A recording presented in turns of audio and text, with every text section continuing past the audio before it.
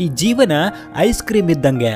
Ice cream ತಿಂದ್ರೂ ಕರಗುತ್ತೆ, ತಿನ್ನದೇ ಇದ್ರೂ ಕೂಡ ಕರಗುತ್ತೆ. ಹಾಗೆಯೇ ನಮ್ಮ ಜೀವನವನ್ನ ಎಂಜಾಯ್ ಮಾಡಿದ್ರೂ ಕರಗತ್ತೆ, ಮಾಡದೇ ಇದ್ರೂ ಕರಗತ್ತೆ. ಈ ಸ್ವರ್ಗ, ನರಕ ಇದಾವೋ ಇಲ್ವೋ ಗೊತ್ತಿಲ್ಲ, ನಾವು ಮತ್ತೆ ಹುಟ್ಟುತ್ತೀವೋ ಇಲ್ವೋ ಅದು ಕೂಡ ಗೊತ್ತಿಲ್ಲ. ಇಲ್ಲಿ ಯಾರಿಗೂ ನೂರು ವರ್ಷ ಬದುಕುವ ಭರವಸೆನೂ ಕೂಡ ಇಲ್ಲ. ಅವರವರ ಲೆಕ್ಕಾಚಾರ ಅವರವರಿಗೆ ಬಿಟ್ಟಿದ್ದು.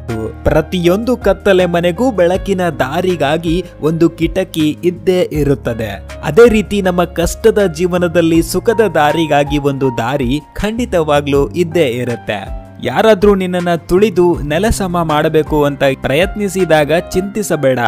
ಭೂಮಿಯಲ್ಲಿ ಹೂತ ಬೀಜವೇ ಮುಂದೊಮ್ಮೆ ಹೆಮ್ಮರವಾಗಿ ಬೆಳೆಯುತ್ತೆ. ಆತ್ಮಸ್ಥೈರ್ಯ ಅನ್ನೋದು ಗೊಬ್ಬರವಾಗಬೇಕು. ಆಗ ನಿಮ್ಮ ಬೆಳವಣಿಗೆಯನ್ನು ತಡೆಯಲು ಯಾವ ಕ್ರಿಮಿ ಕೀಟಗಳಿಂದನೂ ಸಾಧ್ಯವಿಲ್ಲ.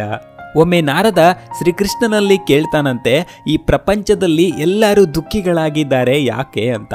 ಆಗ ಶ್ರೀಕೃಷ್ಣ ಮುಗುಳ್ನಕ್ಕು ಏನು ಹೇಳ್ತಾನೆ ಗೊತ್ತಾ? ಸುಖ ಎಲ್ಲರ ಬಳಿಯೂ ಇದೆ, ಆದರೆ ಎಲ್ಲರೂ ಇನ್ನೊಬ್ಬರ ಸಂತೋಷದಿಂದ ದುಃಖಿಗಳಾಗಿದ್ದಾರೆ ಅಂತ. ಕಷ್ಟದಲ್ಲಿ ತಾಳ್ಮೆ ನಷ್ಟದಲ್ಲಿ ಸಹನೆ, ತೊಂದರೆಯಲ್ಲಿ ಶಾಂತಿ, ದುಃಖದಲ್ಲಿ ಸಮಾಧಾನ, ಇದ್ದವರಿಗೆ ಬಾಳಲ್ಲಿ ಯಾವ ಭಯನೂ ಇರೋದಿಲ್ಲ.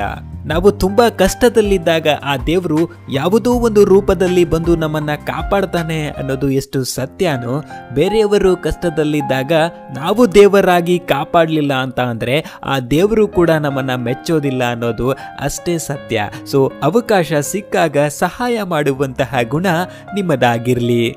ಯಾರನ್ನೇ ಆಗಲಿ ಸೋಲಿಸಲು ಪ್ರಯತ್ನಿಸುವುದಕ್ಕಿಂತ ಎಲ್ಲರ ಹೃದಯವನ್ನ ಗೆಲ್ಲಲು ಪ್ರಯತ್ನಿಸು. ಸೋಲಿಸುವ ಸುಖಕ್ಕಿಂತ ಗೆಲ್ಲುವಂತಹ ಖುಷಿ ದೊಡ್ಡದಾಗಿರುತ್ತೆ. ನಿಂದಿಸಿದವರ ನಾಲಗೆಯಲ್ಲೇ ನಲೆದಾಡುವಂತೆ ಗೆಲ್ಲಬೇಕು, ಹಿಯಾಳಿಸುವವರೇ ಸನ್ಮಾನಿಸುವಂತೆ ಗೆಲ್ಲಬೇಕು. ದೂರ ತಳ್ಳುವವರೇ ಬಾಚಿ ತಬ್ಬಿಕೊಳ್ಳುವಂತೆ ಗೆಲ್ಲಬೇಕು. ನೀನು ಖಂಡಿತ ಗೆದ್ದೆ ಗೆಲ್ಲುವೆ ಒಂದು ದಿನ. ಅದೃಷ್ಟದ ಮೇಲೆ ಅಪಾರ ನಂಬಿಕೆ ಬೇಡ. ಪ್ರಯತ್ನ ಮಾಡೋದು ಯಾವತ್ತೂ ಮರಿಬೇಡ ಅಂತ ಹೇಳ್ತಾ ಸಿಗೋಣ ನೆಕ್ಸ್ಟ್ ವಿಡಿಯೋದಲ್ಲಿ. ಅಲ್ಲಿವರೆಗೂ smile to your life and finally thank you for watching